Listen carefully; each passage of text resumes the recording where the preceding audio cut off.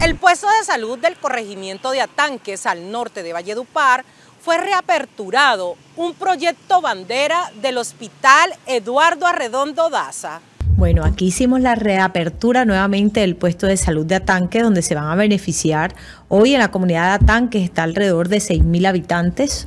Eh, pero no solamente son los habitantes del corregimiento de Atanques que se van a beneficiar con este puesto de salud, también se benefician todos esos corregimientos alrededor, como son Guatapuriche, Mesquemena, Mojao, Mojao Pontón, Latico, eh, La Vega, eh, La Mina, perdón.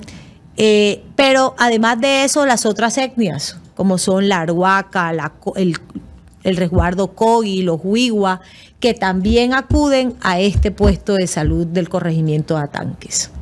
Bueno, hablando de esas etnias, ellos tienen también su propio sistema de salud. ¿Cómo hacen de pronto pues para brindarle un buen servicio de acuerdo a esas necesidades que ellos tienen? Sí, ese fue, por eso el, la comunidad de Atanques tomó la decisión hace 15 meses de cerrar el puesto de salud de Atanques y era por la mala prestación de los servicios de salud.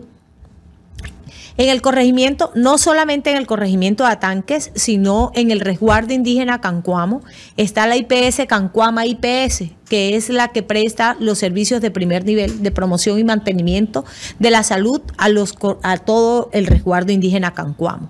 El Hospital Eduardo Arredondo Daza hoy tiene un contrato con la EPS Dusacawi EPS que es para prestarle el servicio de urgencia, no en Atanques, porque a nosotros por documento red no nos permiten tener la urgencia habilitada en el corregimiento, sino hasta unos, em, unas consultas prioritarias.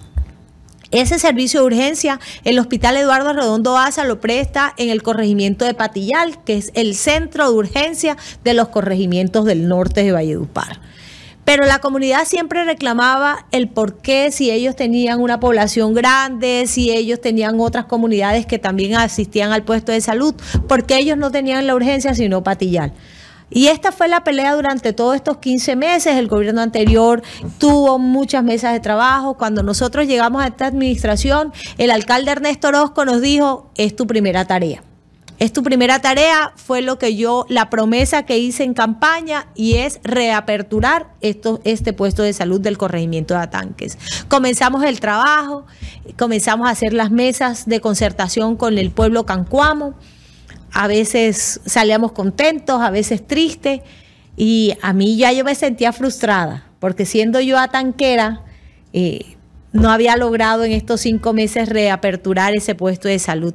Al final, hace 20 días, la comunidad eh, tomó la decisión de devolverle al Hospital Eduardo Arredondo Daza nuevamente el puesto de salud. En, esta, en estas conversaciones que tuvimos con la comunidad, la idea era hacer una articulación con la IPS Cancuama para poder mejorar la prestación de los servicios. Hoy esa articulación está hecha, hoy estamos articulados con la IPS Cancuama, porque ellos son los que tienen la gran mayoría de la población en el, resguardo. Eh, vamos a tener unos espacios compartidos con la IPS en el puesto de salud de Atanques para mejorar. No vamos a tener urgencia y yo siempre lo he dicho y lo tengo que recalcar tanto a la comunidad como a todo el municipio de que no vamos a tener servicio de urgencia, pero sí vamos a tener unas consultas prioritarias.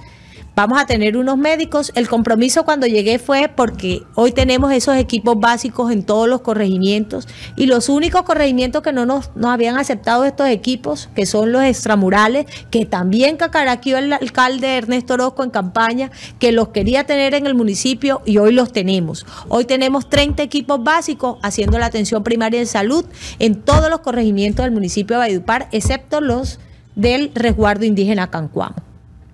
Pero el compromiso era, yo, el Hospital Eduardo Redondo Asa, hace la reapertura nuevamente del puesto de salud, pero ustedes me aceptan los equipos básicos. Y así fue, llegamos a los compromisos, eh, ellos nos aceptaron, hoy tenemos tres equipos básicos en, en, Atanques, donde tenemos un equipo multidisciplinario, tenemos médicos, tenemos enfermeras jefes, enfermeras auxiliares, psicólogos, nutricionistas, fisioterapeutas y odontólogos, para ir casa a casa a prestar la, atención primaria en salud en el corregimiento.